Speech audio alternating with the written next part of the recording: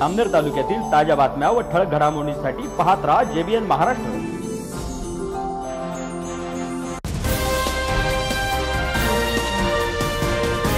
नमस्कार मी मिनल चौधरी. पाहूया काही ठळक वृत्त. जामनेर तालुक्यातील चिंचोली पिंपरी येथील अंगणवाडीची इमारत सन दोन हजार तेरा चौदामध्ये बांधण्यात आली होती. परंतु अवघ्या दहा वर्षात ती जीर्ण अवस्थेत दिसून येत असल्याने अर्थातच या अंगणवाडीच्या इमारतीचे काम निकृष्ट दर्जाचे झाले असल्याचे निदर्शनात येत आहे. त्यामुळे येथे शिकणाऱ्या विद्यार्थ्यांच्या जीवितास धोका निर्माण झाला आहे. या अंगणवाडीतील विद्यार्थ्यांच्या पालकांनी दिनांक दहा सात दोन हजार तेवीस रोजी बीडीओंकडे तक्रार केली असून त्यावर प्रशासनाने आजपर्यंत कुठलीही दखल घेतलेली नाही आहे याकडे शिक्षण अधिकारी यांनी लक्ष द्यावे अशी मागणी गावातील पालकांनी केली आहे. या इमारतीचे बांधकाम करणाऱ्या संबंधित ठेकेदारावर लवकरात लवकर कारवाई करून सदर इमारत नव्याने उभारण्यात यावी. असे न झाल्यास आम्ही आमचे पाल्य अंगणवाडीमध्ये पाठवणार नाही असा आक्रमक पवित्रा पालकांनी घेतला आहे.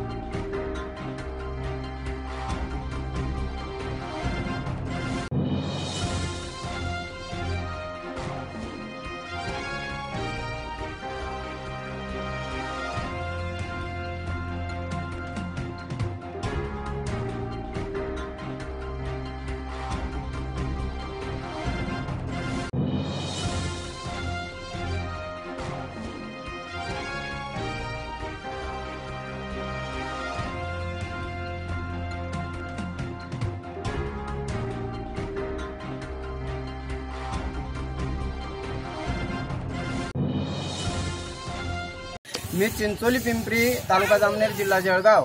अंगणवाडी क्रमांक एक या अंगणवाडीमध्ये माझा मुलगा येतो त्या मुलाचा मी पालक बोलतोय. आणि ज्यावेळेस मी या इथं अंगणवाडीमध्ये आल्यानंतर या अंगणवाडीची दुरावस्था बघितली तर या अंगणवाडी खूप मोठ्या पडक्या स्वरूपाची ही अंगणवाडी आहे आणि या अंगणवाडीचं बांधकाम हे सन दोन हजार तेरा चौदामध्ये झालेलं आहे. ते अतिशय दयनीय म्हणजे निकृष्ट दर्जाचं झालेलं आहे. आणि ही अंगणवाडी पडक्या स्वरूपात केव्हाही पडू शकते. म्हणजे माझ्याच मुलाला नाही पण पण गावातल्या सर्व मुलांच्या जीवितांचा धोका या अंगणवाडीमध्ये झालेला आहे. तर अशा पद्धतीनं मी बघितल्यानंतर बी डी ओ साहेबांना मी दहा सात दोन हजार तेवीसला अर्ज दिलेला आहे. की सदर अंगणवाडीची दखल घेऊन त्यांनी काहीतरी करावं परंतु अर्ज देऊन एवढे दिवस झाले तरी सुद्धा त्यांनी या कुठल्याही प्रकारची त्यांनी या अंगणवाडीची कार्यवाही केलेली नाही.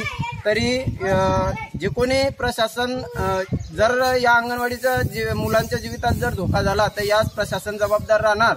आणि या अंगणवाडीचं होता होईल तेवढ्यात लवकरात लवकर अंगणवाडीचं काम करण्यात यावं. आणि जे काही प्रशासन आहे त्यांना त्यांच्यावर कार्यवाही करण्यात यावी.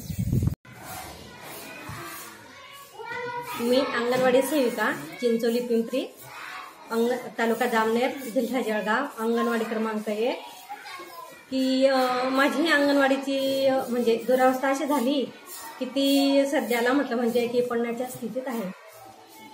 त्यामुळे जसं माझ्याकडे अठरा एक तेवीसपर्यंत लाभार्थी येतात तर थोडंसं ते धोक्याचंच आहे बा. तर त्यामुळे मी जसं प्रशासनाकडे म्हणजे ग्रामपंचायतला अर्ज दिलेला आहे. आणि त्यांनी म्हणजे ग्रामसेवक वगैरे येऊन पाह- पाहणी करून गेलेत.